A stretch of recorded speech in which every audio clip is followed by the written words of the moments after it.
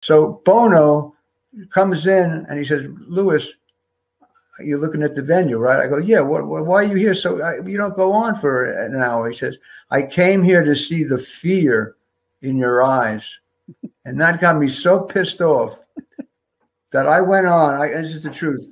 Fifteen thousand people.